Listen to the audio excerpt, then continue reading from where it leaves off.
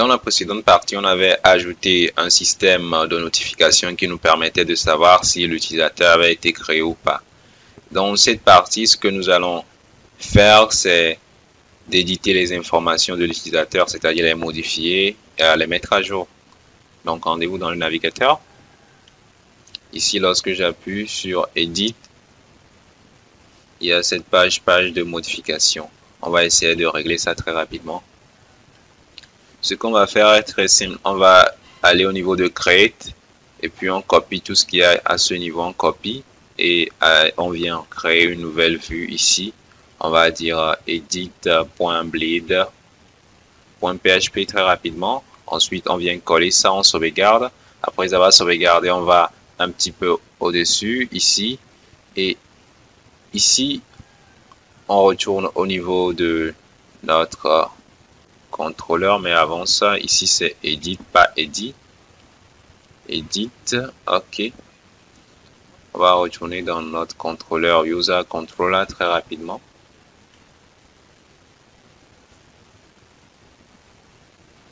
User controller. À ce niveau, au niveau de user controller, ce que nous allons essayer de faire est très simple. Nous allons copier ce qu'il y a à ce niveau, au niveau de store.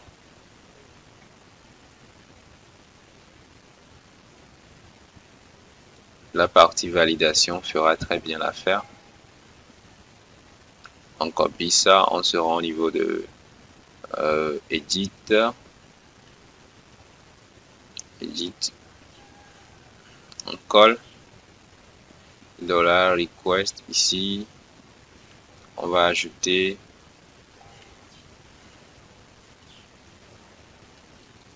request dollar request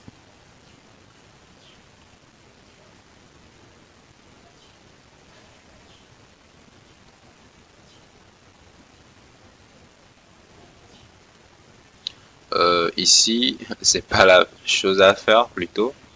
Euh, je vais supprimer ça. Euh, je vais juste retourner return.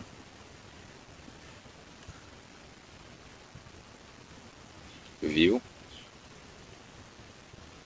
Ici, la vue, je vais lui dire user. User.edit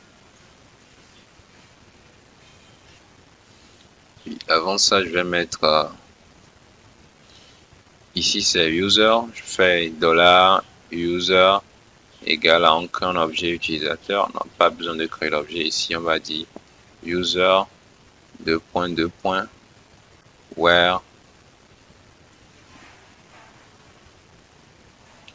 id virgule dollar id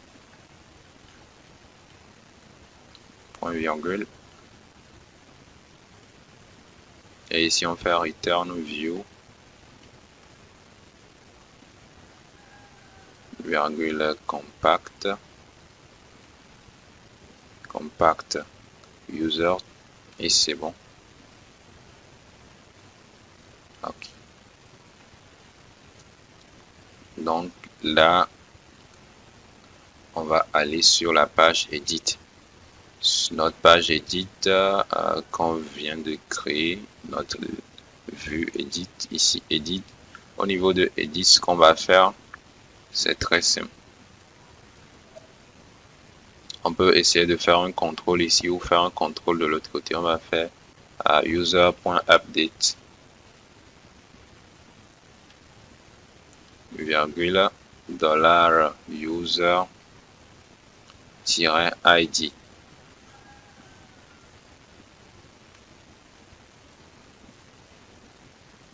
la user-id.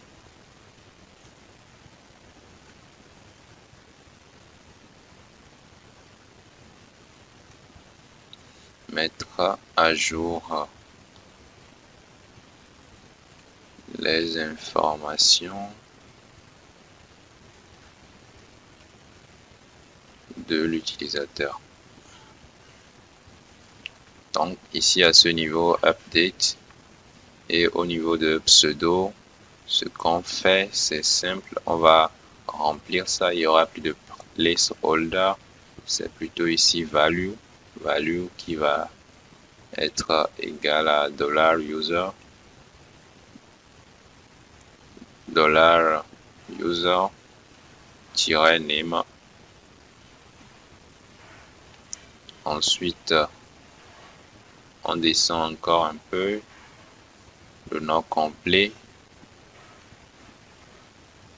On supprime ça très rapidement dollar user-last name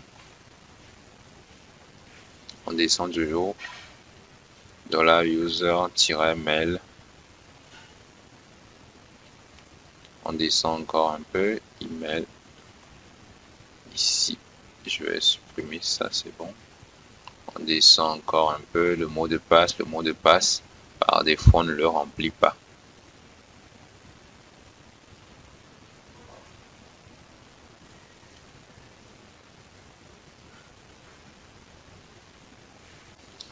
À noter que si on veut, on peut lui permettre de modifier son mot de passe de façon indépendante. Nous aurons l'occasion de revenir là-dessus, mais pour l'heure, on va juste enlever cette partie. Confirmation du mot de passe. Et mot de passe, on n'en a pas besoin ici. Choisir le rôle. Ici, ce qu'on va essayer de, ce qu'on va faire est très simple. Le rôle, plutôt que d'afficher ça, on va, on peut essayer de mettre, on va mettre une condition if dollar roll tiret name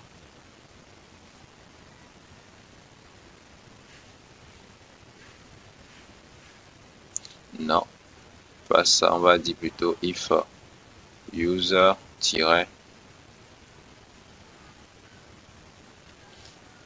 has role has role ici c'est dollar user if dollar user has role ici on met en parenthèse dollar role on met le nom du rôle has role name là ce qu'on fait euh, ici on va dupliquer ça je vais déplacer ça vers le haut Ensuite, je vais le dupliquer. Je le déplace vers le bas.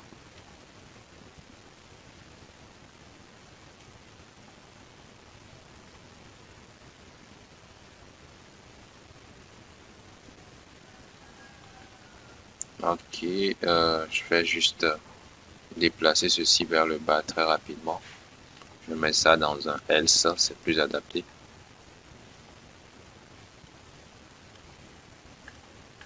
je déplace ceci vers le haut toujours. Je vais supprimer cette ligne, c'est bon. J'ai dit si l'utilisateur a déjà ce rôle, ce qu'on va faire, c'est sa valeur sera toujours ce rôle et puis on lui donne une classe selected. Sinon, si l'utilisateur n'a pas ce rôle, il n'aura pas la classe selected. Si l'utilisateur a le rôle, il, sera par défaut sélectionné. Sinon, il ne le sera pas. Ensuite, on descend un peu en bas. Il y a ici, c'est bon euh, on descend soumettre ou mettre à jour, actualiser, modifier, ou mettez ce que vous voulez. Modifier. OK.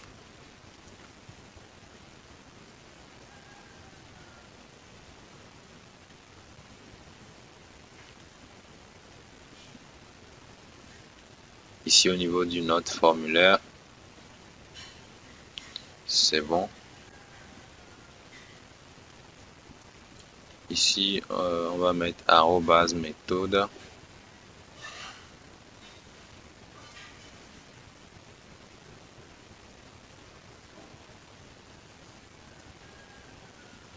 Patch.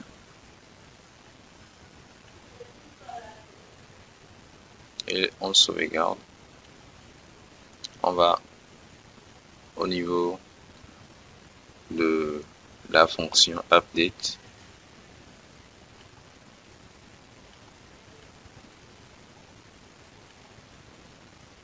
update ici. Update aura les mêmes règles de validation qu'à ce niveau, qu'au niveau de store.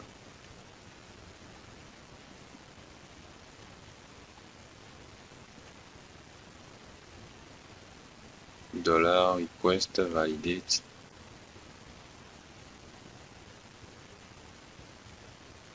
ici l'email existe déjà. Donc euh, on va lui dire que si l'utilisateur qui a cet email veut faire une modification au niveau de l'email qu'il ignore celui qui est déjà celui de l'utilisateur courant. Ici nous allons le laisser pour le moment et continuer et déjà à ce niveau.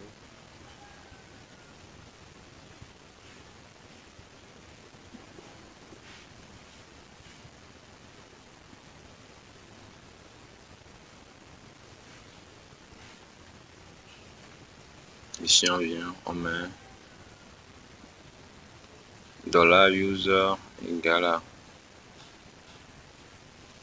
user de point de point where id virgule dollar id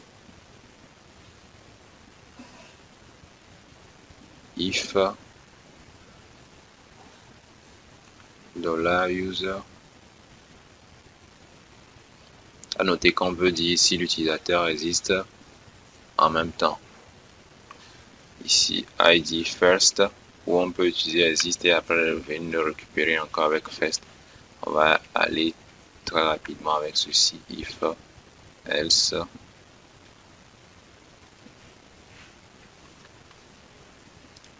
Ok. Si l'utilisateur existe donc on fait de la user-name égale à dollar request name.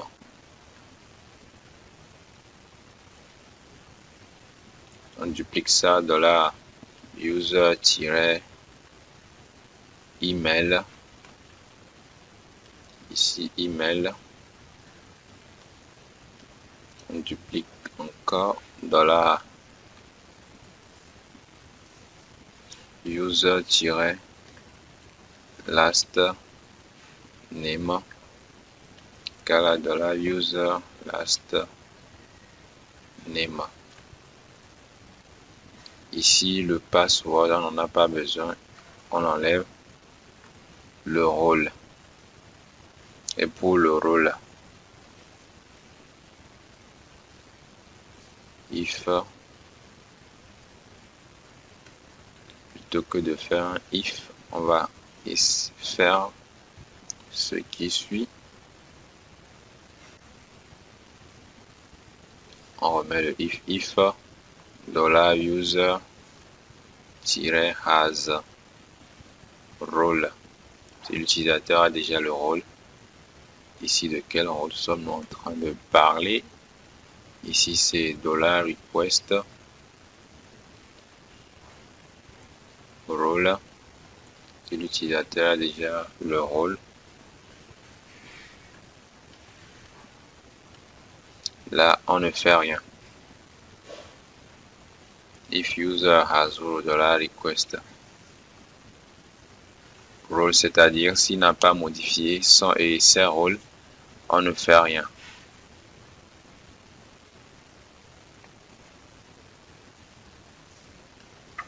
Donc, on va changer ça juste ici. Si l'utilisateur n'a pas le rôle qui est mentionné ici. Alors ce qu'on va faire, on va faire dollar user ici on va supprimer son rôle très rapidement.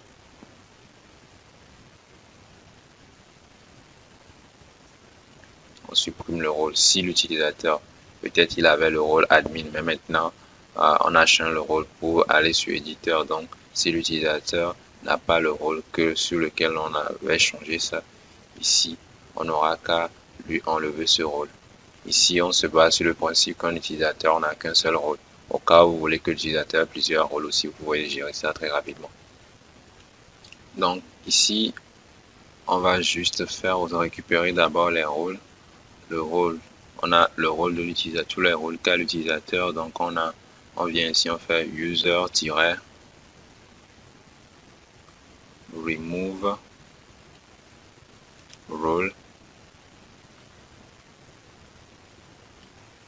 Donc à ce niveau, on fait remove role et on fait dollar $role.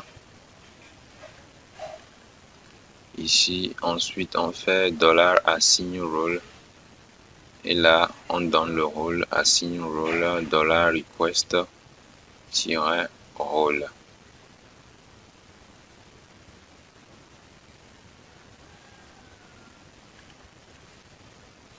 Ici, euh, get role name nous retourne une collection. Ce qu'on va faire, c'est récupérer ce que ça retourne ici pour savoir comment l'utiliser très facilement. Ou du moins, on peut laisser ça comme ceci dans un premier temps. D'abord récupérer ça. Et ici, après avoir fait cela, on fait dollar $user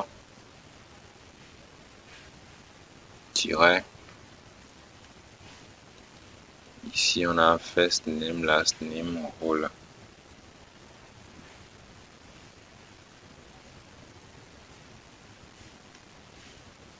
De la user update.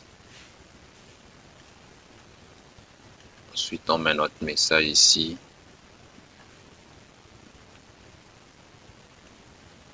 mise à jour réussie mise à jour effectuée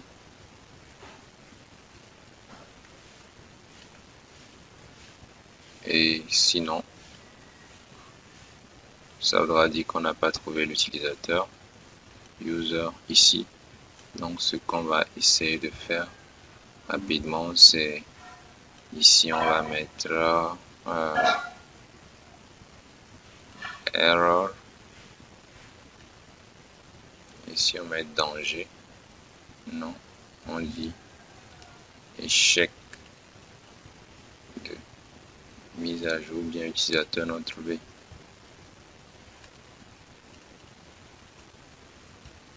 Utilisateur non trouvé. Et on sauvegarde. N'oublions pas, ici, il faut faire redirect return, on va rediriger sur nous. Return. Ensuite, redirect.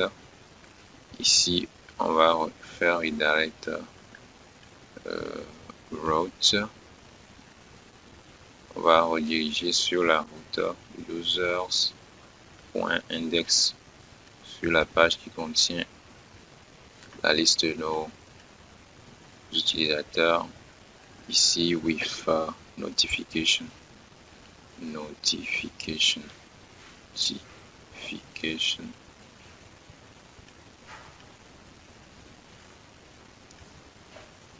Dans la notification très rapidement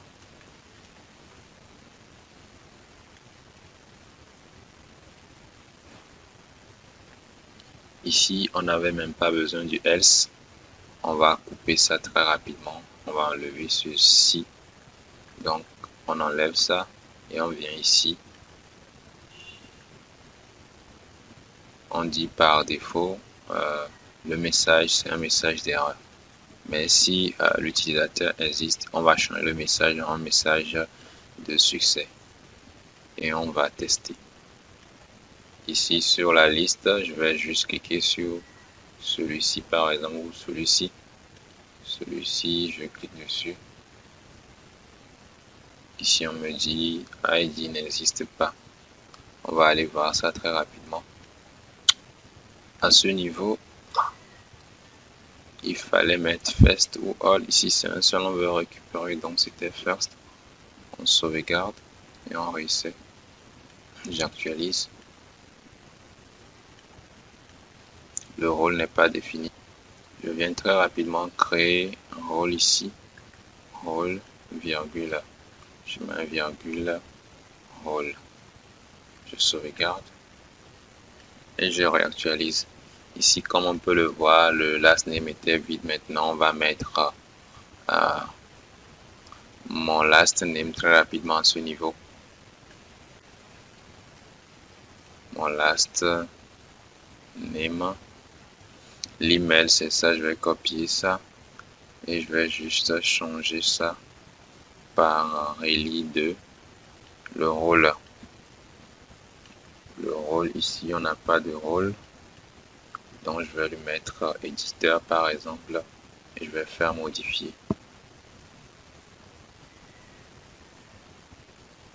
on vient sur cette page, on retourne au niveau de notre vue.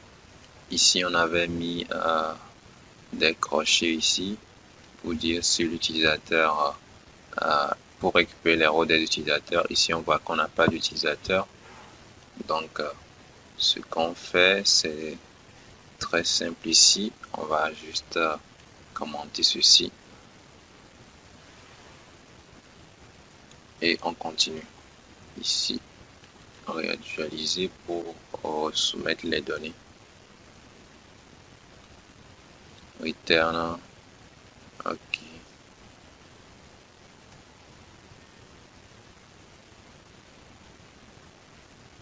Ici, on nous dit on a une erreur au niveau de get store role, c'est normal.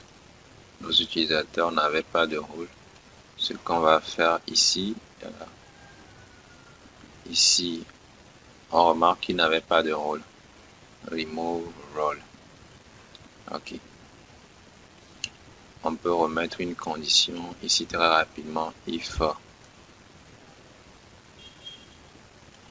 si notre utilisateur n'a pas de rôle if dollar roles if non dollar role on va mettre ça bien non dollar role est égal à nul.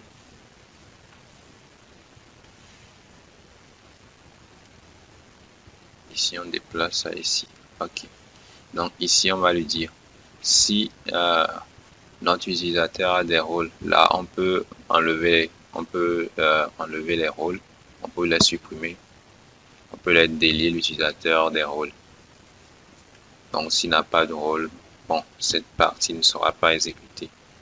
Maintenant signe rôle je sauvegarde je ici à ce niveau notre euh, utilisateur getRole retourne une collection. Donc ici on disait si euh, l'utilisateur a des rôles, on peut les enlever. Sauf que ici, cela va forcément exécuter ça parce qu'on aura un tableau avec euh, un tableau, un ou deux, deux tableaux vides qui nous seront retournés. Donc au niveau de la collection, on va dire notre collection ici is empty. On va utiliser la méthode is empty. Donc on lui dit si à ce niveau. Notre collection retournée ici est vide, n'est pas vide, ici non vide. Alors tu enlèves les rôles, sinon tu exécutes ceci. Donc on sauvegarde et on actualise, vous pouvez le voir, c'est bon à ce niveau. Donc ce qu'on va essayer de faire, on reprend un autre, par exemple celui-ci, choix. Donc je vais mettre ici, je vais générer une chaîne et au niveau du rôle je peux mettre euh, par exemple admin et je modifie. Ok ici la modification été effectuée. Avec succès. Rendez-vous dans la prochaine session pour continuer l'aventure